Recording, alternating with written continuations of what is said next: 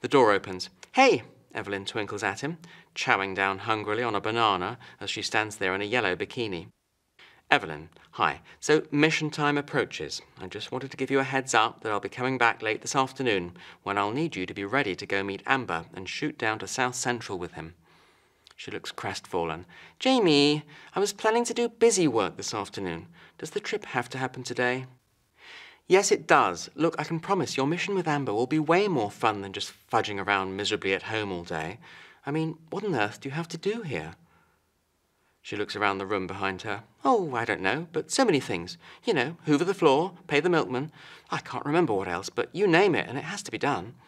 Sod all that! You're an incarnated beast of Electra Drive who's meant to be jetting glamorously around LA. I don't know whether I'm such a fan of this meat space you've brought me into, she says. It's felt a bit like making my first parachute jump for charity, only to fall straight into the whirling blades of a helicopter. Now you're being a drama queen. Surely real life isn't quite that bad. Well, maybe not, she concedes. Still, it's a bit of a schlep, isn't it? It is that, I do admit, says Jaymi. But this mission is important, Evelyn. It'll make the world a little better. Would that be okay with you? She heaves a sigh, nods tragically, and gives a brave smile. Okay, Jaymi, I'll be ready. See you later. He stands there, watching her door swing shut.